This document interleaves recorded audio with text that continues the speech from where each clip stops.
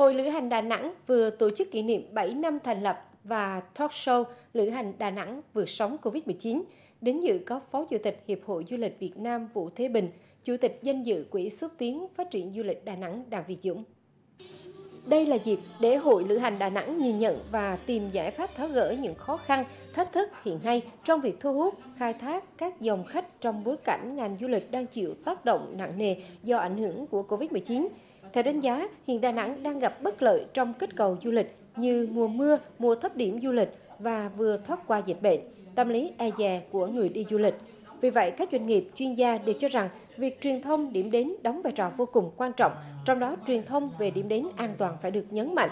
Bên cạnh đó, các doanh nghiệp cũng phải chung tay cùng với ngành du lịch trong việc tạo ra các sản phẩm kích cầu, sản phẩm du lịch đặc trưng để kéo khách quay trở lại Đà Nẵng, đồng thời linh động tạo ra một chuỗi sản phẩm liên vùng. Hội Lữ hành Đà Nẵng cũng cho biết thời gian tới sẽ tiếp tục đề xuất hỗ trợ doanh nghiệp gặp khó khăn để các hội viên dễ dàng hơn trong việc tiếp cận các gói hỗ trợ từ chính phủ.